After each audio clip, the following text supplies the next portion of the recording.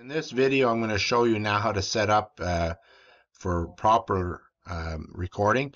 The thing is, the movie Scene Capture Legacy won't work with this because there's too much movement. Anytime you have too much movement, you need to go get the plugins. I'm going to recommend two plugins. The first one is Apple ProRes, which you're going to click. And don't click restart now because we're going to go get another one. We're also going to go get Movie render queue. So see down here, both of these aren't installed. I'm going to restart my computer. It'll save the project. Let's get that up and going. Okay, so the movie render queue and Apple ProRes have been set up. So what I want to do now is set up my scene. I'm going to slow the camera down to one or two. So that, that way when I move stuff, uh, you know, and this obviously this clip is clipped and you know that's how it was recorded. So you want to obviously set things up but actually I don't have my camera set up so let's do that first because no point setting this up.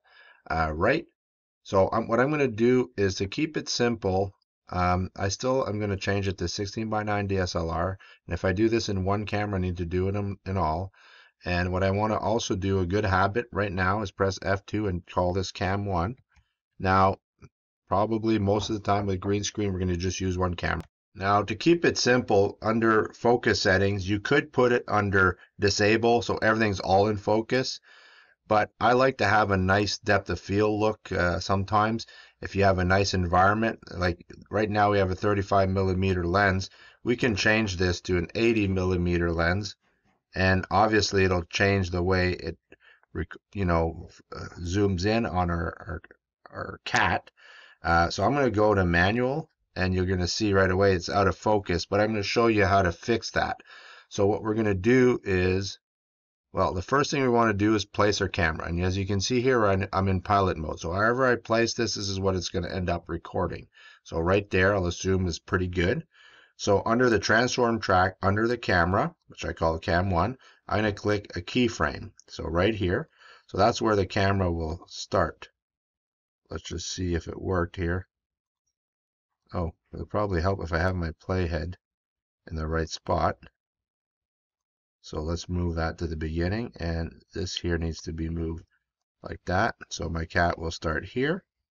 And what I want to do is if you hit this button, move this here out of the way. You can't see it really, but there's a little. So that'll bring me to the beginning.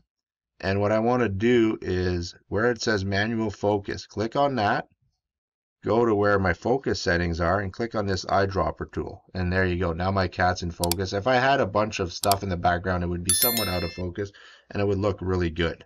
So there's my cat playing. And remember, I extended it to 25 seconds. And that's pretty good. So I'm pretty happy. So really simple, point the camera, maybe change this to a higher lens like 80 or 100 so that you can get a depth of field. You can even go higher if you want. And then what we want to do is, here's another thing that might be important. Um, now, well, I think I'm, I'm not going to even talk about that. So let's just uh, have that ready. So now we're ready to render. So what I want to do is we're going to click, make sure that it's movie render queue, and you'll know because if you click on it, you'll see this. And what I'm going to do is click on here, and I'm going to change this. This is really important that we change this right now. Click on this, get rid of that. Go get Apple ProRes. So instead of a bunch of image sequences, Apple ProRes creates a video, which I find is easier to work with with, with students. And let's just leave that there. Uh, and then what I'm going to do is I'm going to go get anti-aliasing, which is what helps with the uh, jittery when it records in CG. So it's really uh, an important kind of tool. And usually I go three and five, and that's usually good enough. If ever there's a lot of movement, if I recall, I think it's the first one you can make four or five. And it's important to check this off here. Uh, and so let's just, we got Apple ProRes, deferred rendering. Um, I'm going to leave that like that. Anti-aliasing, three and five. Go output. And this part, what I want to do is it's probably better if you went higher than this, but for now, let's go 1080p. And what we're going to do is I'm going to check where do I want to download this, and I'm going to put it on my D drive, select folder, and I'm going to press accept.